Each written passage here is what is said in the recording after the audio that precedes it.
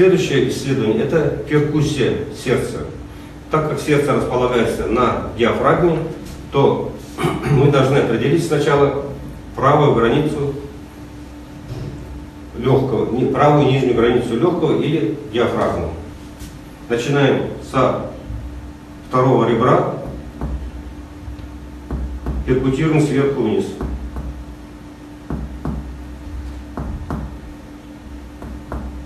Норме определяется шестое ребро.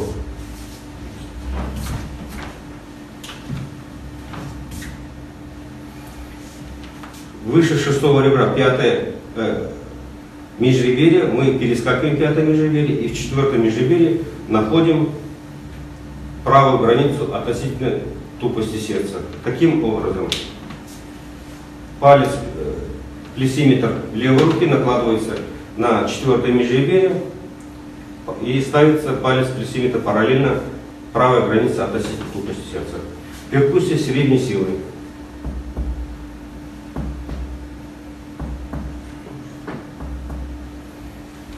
Там, где укорачивается зуб, делаем отметку границы.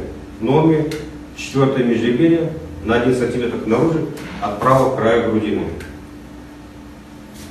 Левая граница относительно тупости сердца совпадает с верхушечным толчком. Если мы находим верхушечный толчок, то можем отметить левую границу. Если верхушечный толчок определяется э, тяжело или плохо э, не определяется, то мы должны методом перкуссии в пятом межреберье, начиная от передней подмышечной линии, вести перкуссию к сердцу. Руку поднимите.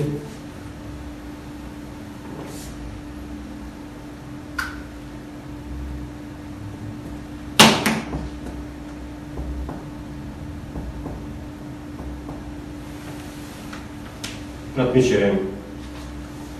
Левая граница относительно тупости сердца. Теперь верхняя граница.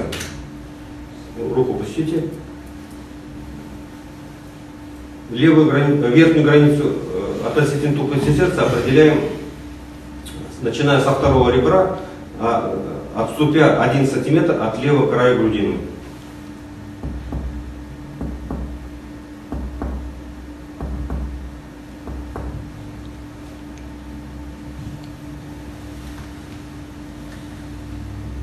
В норме третье ребро.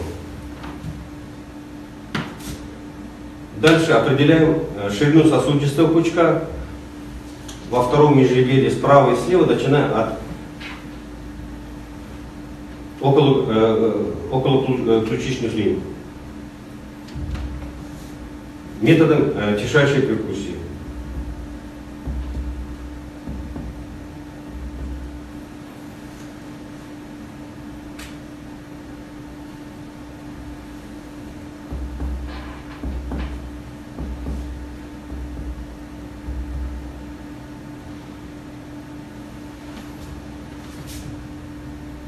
Нашли ширину сосудистого пучка в норме 5-6 см. После этого мы находим э, границы абсолютной тупости сердца.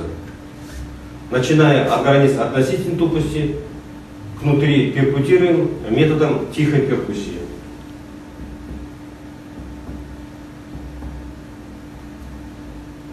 В норме правая граница абсолютной тупости находится в четвертом межреберье, проходит по левому краю грудины. Левая граница абсолютной тупости.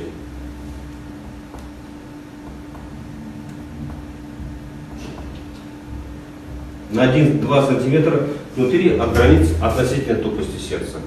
Верхняя граница,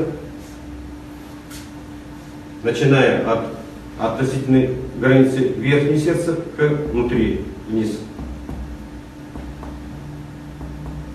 В норме четвертое межреберье.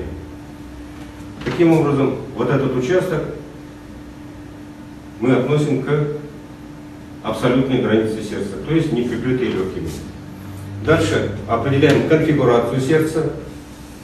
Для этого необходимы дополнительные точки. Справа это третье межреберье и слева пятое, э, четвертое межреберье.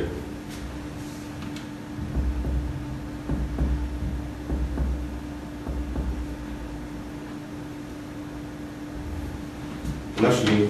Слева, в четвертом межребере, также находим точку дополнительную.